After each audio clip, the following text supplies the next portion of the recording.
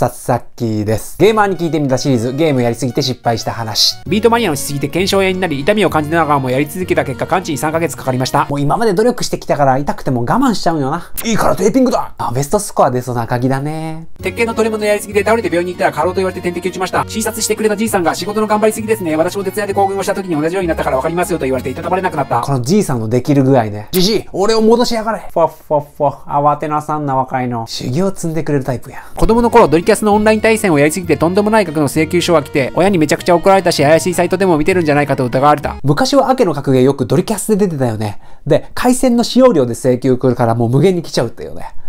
でもまあ、怪しいサイトならまだよかったのにね。休日はできる限り無駄に移動せずにゲームだけやりたいという怠惰な理由から布団はテレビの横に配置し、ゴミ箱と2リットルのお茶と菓子類を大量に布団の横に置いていちいち布団から動かずに朝から朝までゲームする生活を1年続け、無事自律神経失調症を患ったこと。もう理由から原因と結果までめちゃくちゃ客観視できとる。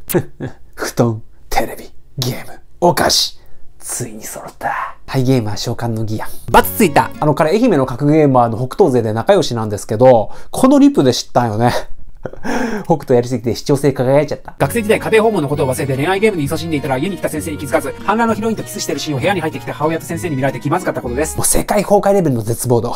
こうなったらもうヒロインのノリで行くしかない。あんたたち、勝手に人の部屋に入ってくるなうん、押したい。10年以上前にゲームやらない彼女とゲーセンに行ってかっこいいところを見せようとピーマニをやったのですが、その十数年後の先日、妻となった彼女にあの時なんか生きってて嫌だったと言われてめちゃくちゃ恥ずかしくなった。いいとこ見せる時期必ずうまくいかない法則ね。俺結構うまいよ。黙って仕方なくやるやつによく負けるよね。奥さんにコントローラー隠されました。一ついいことを教えてやろう。世の中にはそれで罰がついたやつがいる。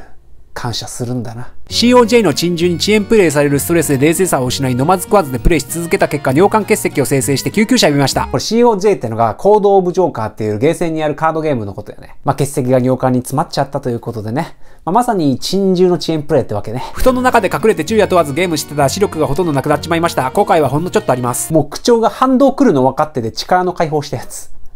大事なもんは守れたかよ。合コンのスタートまで時間あったので、ウルポンの対戦したらいつの間にか大遅刻。急いで会場の店まで行ったらすでに縁も竹縄で時すでに遅し。でもしっかり連絡先ゲットした相手が今の嫁。ああ、いや、ヒーローは遅れてくるって まあそういう計算もいいけど、失敗した話旋回。スポーツやアニメや映画などゲーム以外の思い出を作ろうと思わなかったこと。あ、この強キャラ感ね。勘違いするんだ。俺はゲームさえできていればいい。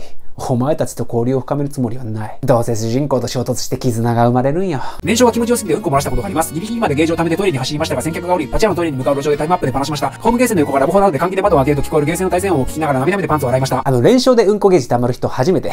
しかもパナスし。これはもう一戦抜けでブラックリスト行きです。政治意識サボった。これは、悪、うん、悪、悪だね。てか、ゲーマーって成人式行くの？大学行かなくなった。代わりに投撃優勝した。失ったものの方がでかかった。得たものの価値なんて失った時にしかわからないよ。あんたの言う大学ってやつはいつでも行けんじゃないのか。飛ばねえ豚はただの豚だ。クレーンゲームにはまりすぎて貯金がなくなりました。景品は基本いらないので友人に無料で配ってました。若い頃にもっと早くあなたと出会っておきたかった。学生時代寮でサードが流行っており自分も遊ぶことになりました。自分以外全員パンピーだったこともあり、10人の立ち強パンチ投げ約20人ほどを眼処理したところ、全員から交流を称えました。たった一つのシンプルな技で全ての人間関係を破壊しました。ああ、自己啓発本っぽくていいね。全ての人間関係を壊すたった一つのシンプルな技。ありそう。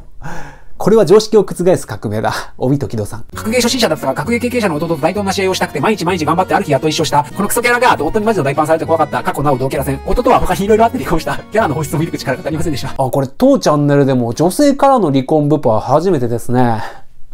まあ、そんなやつやめといてさ。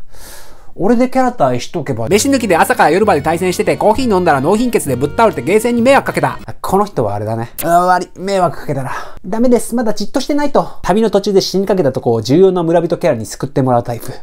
村イベントこなしてからゲームしようね。都会のゲーセンに遠征嬉しくて開店から突撃して閉店までひたすら夢中で対戦し続けてたらその間水分も食事も取るのを忘れてました。最後の試合終わった途端動けなくなり、知り合いに見つかって救助されかろうじて行き倒れを回避しました。この人はどっちかというと不思議なダンジョンで救助パスワード公開して助けてもらった人やね。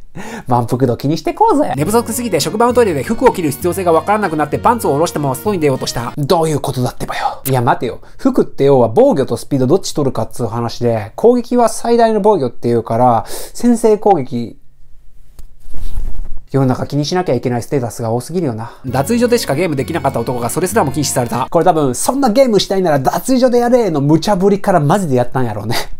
あの、部活の顧問が言う、やる気ないなら帰れと一緒で、負けイベントなのよ。本当にやっちゃダメ。毎晩日付変わってから帰宅、月に1週は付き合いだからと休日丸1日いない、週に1回ペースで終電逃して朝帰り、嫁に浮気を疑われる、本当にゲーセンが原因と証明したら逆に愛想をつかされたこと。あの、これも多分さ、じゃあ昨日何してたのよ？いやだから夜は対戦してたよ。やることやってんじゃない？アンジャッシュのコントみたいになる。女の子と通話中にゲームしてたら、アケコンの音がうるさかったらしく、家壊してるのなんかすごい音するって言われたことですかね？え、なんか音するけど大丈夫？大丈夫だよ。隣工事してんのかな？え、あの、だからまあ、周知者のエロ動画。腕のアケコンに当たってたところがあざになって7年経った今でも消えてません。猛将じゃん。選ばれし者じゃん。いいな。でも名前、ドガスの女。多分違うね。昔まだ LOL やってる頃、ある夜はかなり負けて、翌日の出勤準備中でもどうやったら勝てるを考えたままで出勤した。社員で通勤の私はその日はそんなに寒くないのに下はやけに涼しかったなという違和感がそこまで気にしなかった。仕事がついたらジャケット脱いだらまさかスカート履くを忘れた。速攻家帰ってスカート取りに行きたいが、オーナーさんに説明するのはマジ辛かったわ。死にたかった。その姿を目撃した同僚は地上1週間くらいで辛かった。何事もやりすぎるのは良くないわ。本当に思い知らされた。このイギリスの格ゲーマー何が言いたいって、イギリス歴やったん？これ話変わってくるぞ、お前ら。真面目に尊くなってきた。どうしよう。緊張してきた。あー、とりあえず、ウップまだ。私とゲームどっちが大事なのと当時付き合ってた彼女に言われました。その付き合ってた彼女は今は僕の大切な奥さんで愛しい息子もいます。はい、締めます。解散終わり終わりです終わりはい、ゲームやりすぎて失敗した話でした。今回も200以上の話もらいまして、うん、どれも地獄でしたね。リスクリターンの計算難かったね。で、今回のベストリプライ賞がこちら、ラクダさん。よくツイッターでリツイートやいいねしてくれてますが、原因や失敗も高水準、圧倒的でしたね。おめでとうございます。ほいで次回の動画はですね、書籍をゲームに活かしてみたシリーズですね、多分。違ったらごめん。楽しみにどうぞ。以上です。対戦ありがとうございました。